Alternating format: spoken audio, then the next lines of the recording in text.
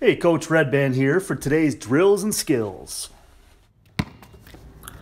This is a good drill. Set up a chair about the high post around the free throw line. Spin the ball to yourself. Get the hands ready.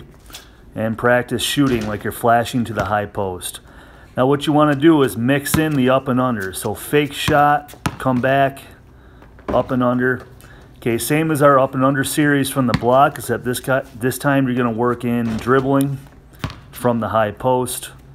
So spin it, get the hands ready, pull. Make sure you switch sides and you're practicing the, the up and unders from both sides. That was a jab go. Hands ready. Reverse pivot, jab go.